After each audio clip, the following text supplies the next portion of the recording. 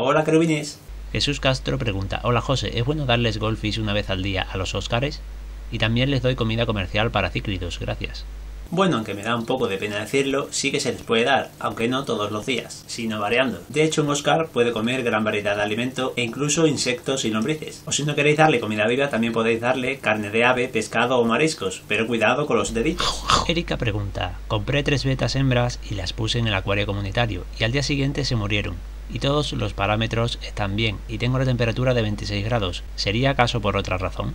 Lo más seguro es que haya sido un cambio demasiado brusco del agua de la bolsa al agua del acuario, o que algunos parámetros o la temperatura del agua no eran exactos. Otra posibilidad es que en el acuario hubiera otros peces que les atacaran, o que fuera un acuario demasiado pequeño y se pegaran entre sí.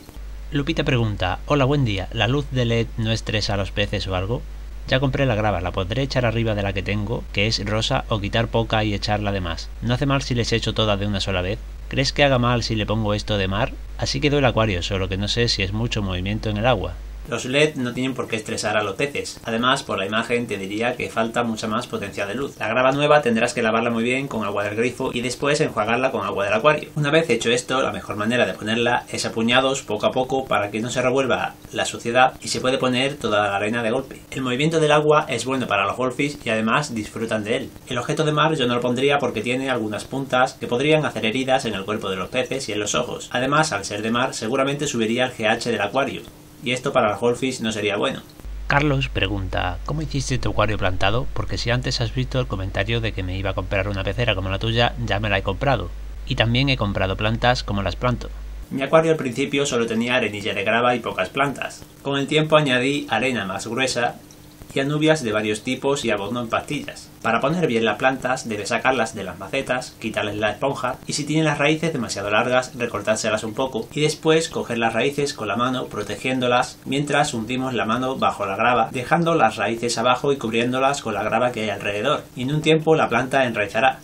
Tony pregunta, hola, ya le tengo comida para golfis para que cambie su color. ¿Y cómo se limpia un acuario de 20 litros? Porque mis golfis son un cola de abanico, escamas de perla y telescopios y quisiera tener platis con mis golfis. Y también tengo tortugas de orejas naranjas, pero ¿qué peces se le puede dar de comer a las tortugas?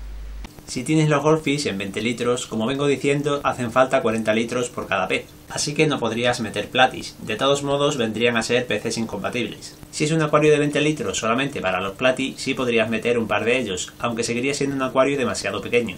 Aunque no tengo tortugas, te podría decir que se come cualquier pez que les quepa en la boca, aunque es algo innecesario porque se les puede dar trocitos de carne, de pescado y de mariscos, y te aseguro que con eso crecen bastante rápido. Faros pregunta, ¿podrías hacer un tuto de cómo hacer un acuario plantado desde filtro hasta la grava o sustrato que usas? Pienso empezar un acuario de mil litros, pero no sé nada de acuarios plantados, te agradecería. Me gustan tus vídeos. ¿La arena sílica blanca tipo Cancún es buena? Te agradecería que respondieras. ¿Qué variedad de plantas necesito si quiero meter goldfish? ¿El goldfish puede vivir con carpas koi? ¿O con qué peces llamativos puede vivir? Para acuarios tan grandes hay gente que se hace los filtros caseros para no gastar tanto dinero. Y como yo no soy un experto en el tema, te dejo un enlace aquí abajo de verdaderos profesionales sobre ello. Pero si no te importa hacer un gran gasto en el filtro, te puedes comprar un filtro estilo Frugal FX5, que yo me lo pillaría sin pensar, o dos filtros exteriores más pequeños de unos 1500 litros a la hora de caudal, que serían más sencillos de manejar. Si vas a meter goldfish solo podrías poner algunas plantas que sean muy duras como las anubias, aunque cuando los peces crezcan no van a dejarlas brotar. Para estos peces se suelen poner los filtros con la corriente lateralmente, que aprovecha los golfis, y con un poco de grava media, casi sin adornos ni plantas. Si al final no metes golfis y haces un acuario plantado, Deberías empezar por poner sustrato nutritivo y encima la grava media y después si quieres puedes poner encima la grava que tú dices. Aunque en la actualidad hay muchas variedades de gravas que se me escapan de las manos, generalmente la que tú dices sí suele valer para acuarios. Solo asegúrate de que donde la compres sea apta para estos. Simplemente tendrás que lavar la conciencia. Poner solamente grava fina impedirá a las plantas crecer adecuadamente, por eso se suele usar solamente para los cíclidos. Y efectivamente en acuarios de 1000 litros para arriba se pueden mantener cois con golfis, aunque no es lo ideal. Los cois requieren unos cuidados especiales que puedes ver en mi otro vídeo titulado Todo sobre el pez koi. Así que lo mejor es tener un acuario específico para uno de los dos tipos de peces. Bueno, esto ha sido todo por hoy y para mañana hablaremos de cómo sanear un acuario sobrepoblado. Hasta mañana. Hace tres días éramos 700 y ahora somos 761. Oye, chico, ¿pero qué está pasando?